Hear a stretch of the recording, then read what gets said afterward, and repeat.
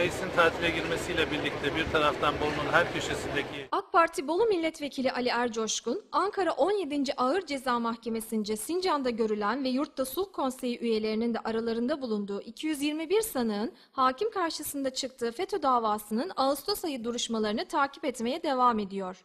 medeniyet tarihimizin en büyük ihanetinin sahne olduğu 15 Temmuz'la alakalı mahkeme süreçlerini Ankara Sincan'daki e, Ağır Ceza Mahkemesi'nde takip ediyoruz. Milletvekili Ercoşkun geçtiğimiz Haziran ayından sonra katıldığı yeni duruşmaya da 15 Temmuz gecesi milli iradeyi savunmak için hain namlular karşısında canlarını feda eden şehitlerin aileleriyle katıldı. Milletvekili Ercoşkun gün boyu süren yargılamaların ardından Ankara 17. Ağır Ceza Mahkemesi kampüsü önünde kameralara açıklamalarda bulundu. Sanıkların ifadeleri aslında birbirinin aynısı. Hep görmedim, duymadım, bilme, bilmiyorum.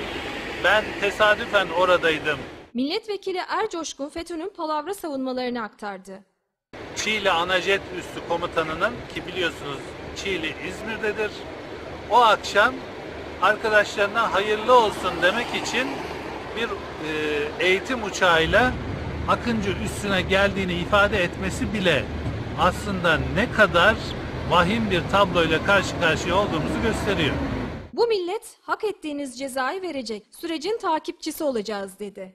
Bütün ifadeler aynı ve bir merkezden talimatla bu ifadelerin verildiğini de burada görmüş oluyoruz.